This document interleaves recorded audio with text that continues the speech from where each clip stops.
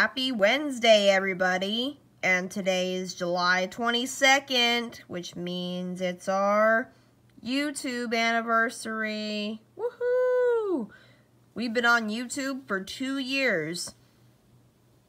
And tell us your favorite video in our two years down in the comments below. And today we are going to read Elly and Eva Take a Walk. Which this is kids camp, by the way. And my little sister Pipsqueak loves kids camp. Scampy pretty much gets, my brother Scampy pretty much gets annoyed by it. So today I'm solo in this video. So let's begin. Kids camp. Elly and Eva take a walk. Elly and Eva take a walk. What will they see?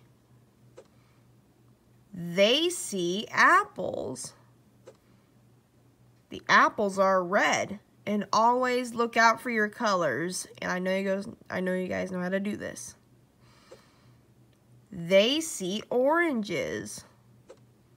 The oranges are orange they see bananas.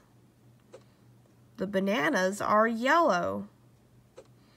They see strawberries. The strawberries are red. They see grapes. The grapes are purple. What a fun walk.